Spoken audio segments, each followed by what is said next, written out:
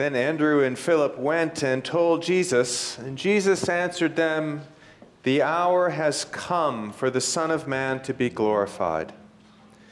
In the name of the one holy and living God, Father, Son, and Holy Spirit. Amen. Please be seated. Is a curious gospel. It seems like this passage is full of non sequiturs, a lot of things that don't quite make sense. It doesn't really follow a, a progression of order. It, it, it, sort of, there are all these surprises that happen. What does falling into the ground like a seed and dying have to do with the Greeks who are coming um, to want to see Jesus?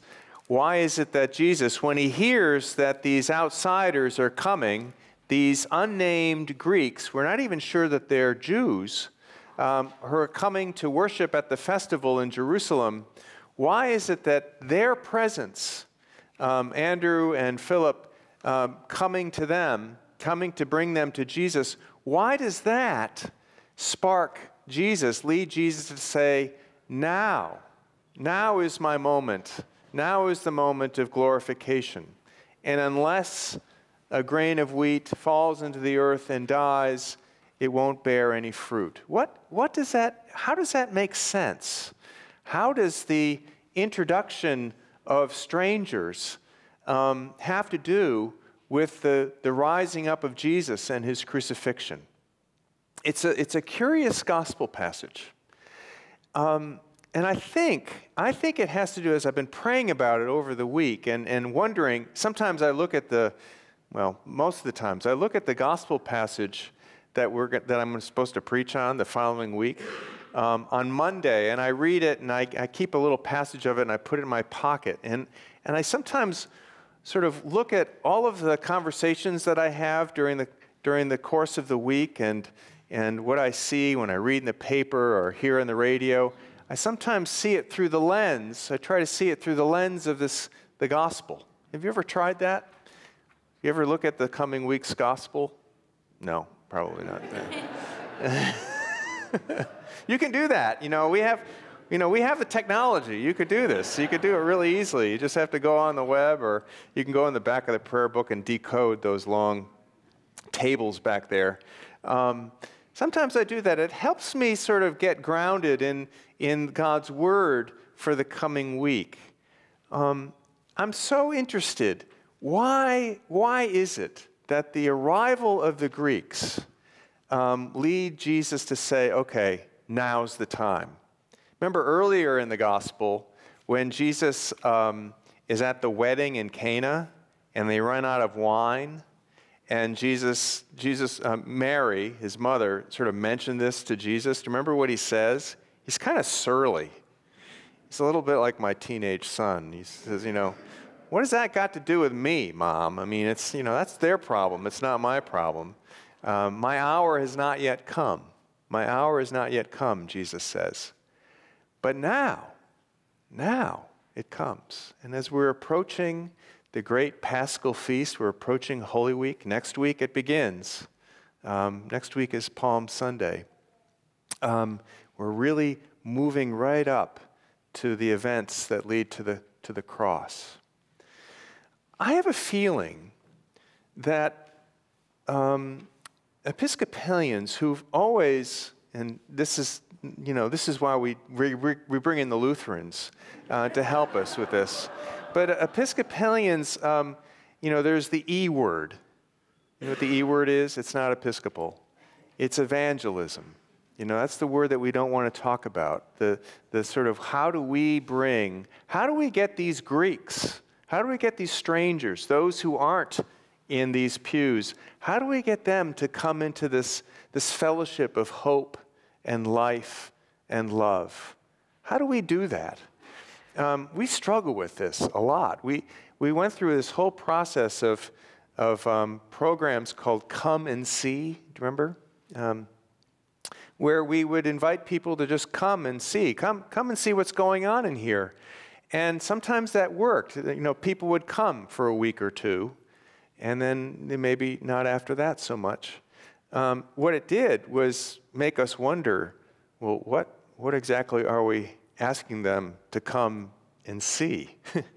do we really want them to see what's going on in here? Or do we want to see you know, the various internal politics that churches always have?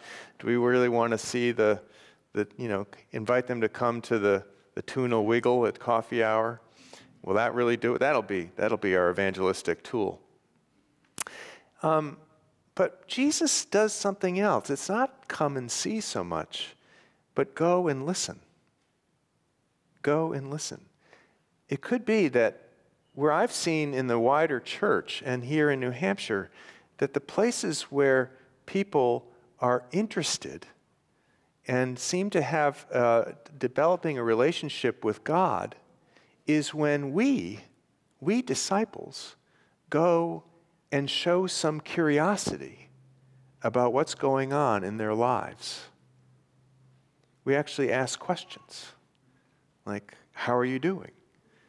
Um, what, what, what are you struggling with? Um, is there anything that I can do to be present when your, your spouse is going through a, a, a disease or a, some hardship? Can I just show up? Um, curiosity. Curiosity. We just came from um, a meeting of uh, Robert um, Putnam. Has anyone heard of Robert Putnam? He's a a Harvard sociologist, and years ago he wrote a book called wrote a book called Bowling Alone. Um, Bowling Alone was a it was a bestseller, and it really talked about how America's America's become much more stratified, and we've become much more uh, a country of individualists. We were always individualists, but but the sense of those things that knit us together, that bound us together, like bowling leagues, or the Knights of Columbus, or men's groups or you know different different activities that would bring people together of different classes sometimes different races and they would actually share news about each other's life. Um, those things have been kind of breaking apart and we find ourselves living again in in sort of silos living apart and we feel kind of protected one from another you know, the rise of the gated, the gated communities, right? Um, this is a reflection of sort of something about the culture not being curious about the other. And what now, Robert Putnam, his new book, it just has come out, called Our Kids, is really, he says, he describes something, um, he, des- he describes them in sort of scissor graphs, what he calls are scissor graphs. And I think what they describe is what we all know anecdotally by stories that my kids, and probably the children that you know, um, go to after school programs, they play sports, they have piano lessons, they are in French club or debating societies or something like that. And they, they're learning some so, sort of social capital. They're learning how to relate to one another, how to be curious about the world.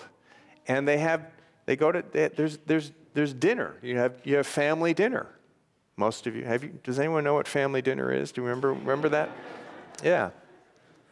Um, but there's a, there's a growing um, segment of our population where homes are broken, um, that they don't have, where, where uh, they've really taken it on the chin economically, and so, under that stress, and often um, their, their parents are absent, they're not, they're not learning those social skills. And so, there's a, wide, there's a widening, like a scissor, there's a widening disparity between those who have that, those kind of soft social skills that Episcopalians are kind of known for having, um, and those who don't. My, my wife, Polly, has been active in something called, in the Lakes region here, called the Circle Program. Have you heard of the Circle Program? It's, a, it's an amazing um, organization that, that invites young girls, young women, who, um, who are at risk. Their, their homes are under tremendous stress. Um, you know, they're, they're, they're, perhaps on the free or reduced lunch programs. They're not particular. Uh, uh, participating in any of the after school programs that, that are um, available for kids of, of greater needs. And they, there's a summer camp on, um, I think, Newfound Lake. And, but the, but the, the hallmark of it is that they're placed with mentors um, through the year who interact with them, who are, take an active interest in how they're doing in school. And Chantel is my, my wife's um, charge.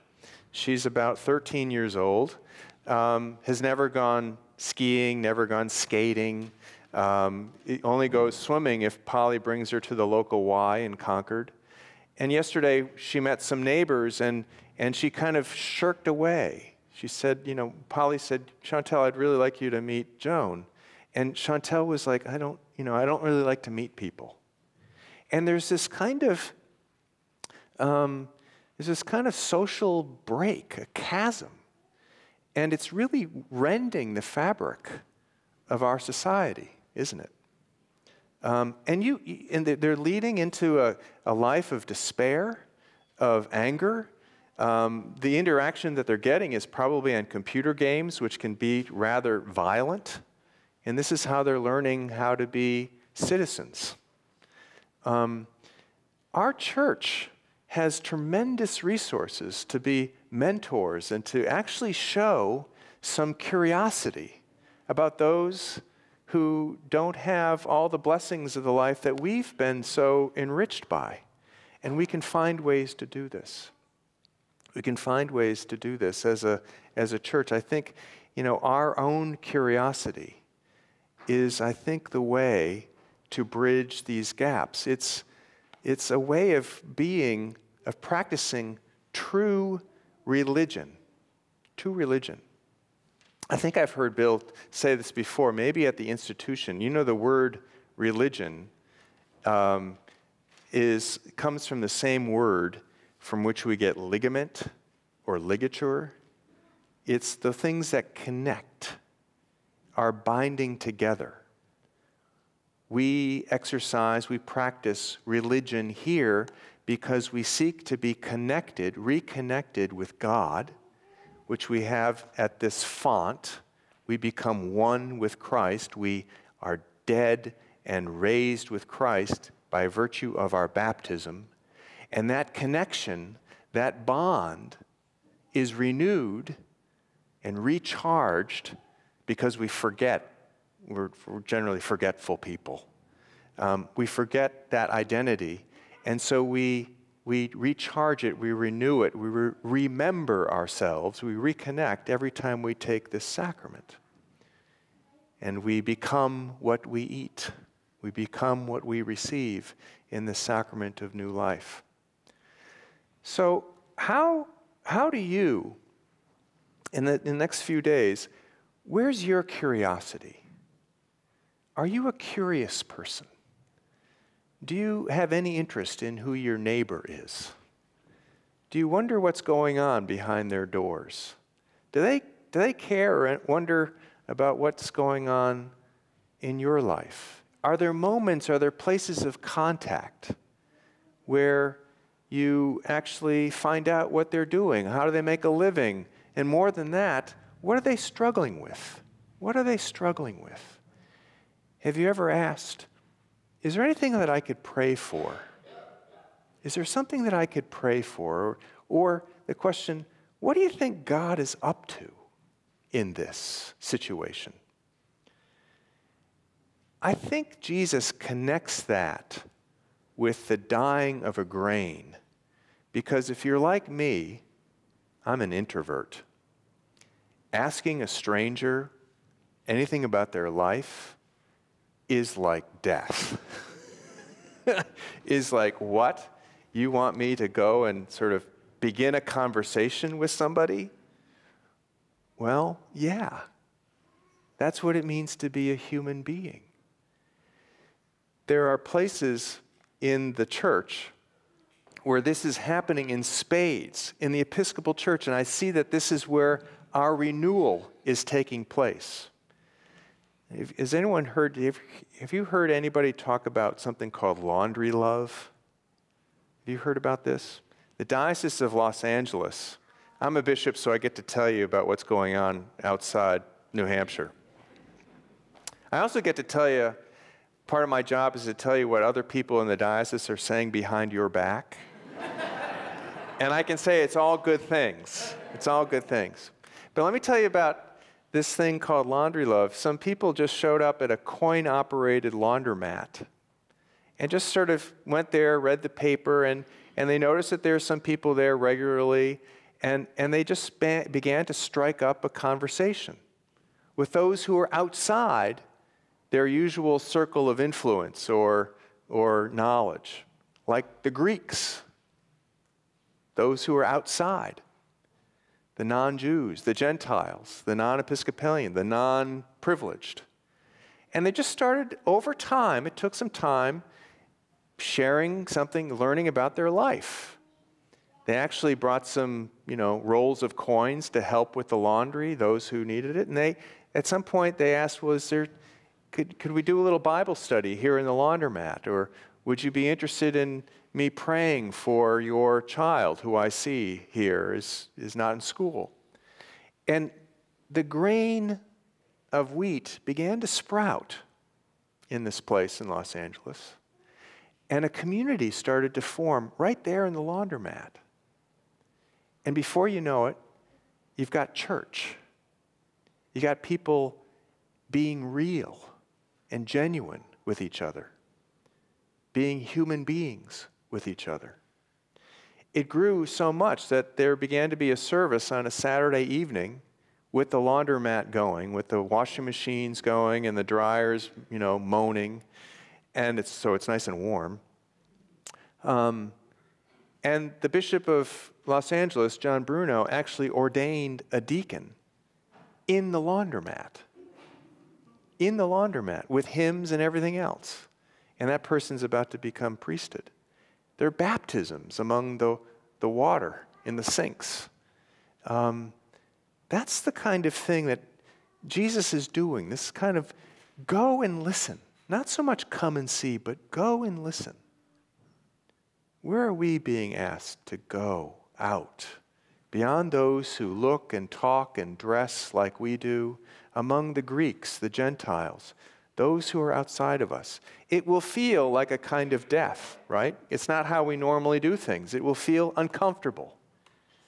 But maybe this is exactly where God is asking us to experience both crucifixion and resurrection. Something in us is dying. And that's a beautiful thing, Jesus says. That is a beautiful, life giving thing because we find ourselves connected with all those people. The whole, the whole catastrophe of humanity is being raised up in Christ. So let's be curious. Let's ask some questions. Let's get to know each other and get to know folks who are beyond our, our numbers. And then Jesus will say, He will draw all people to Himself and raise them to new life. In the name of the Father, and the Son, and the Holy Spirit. Amen.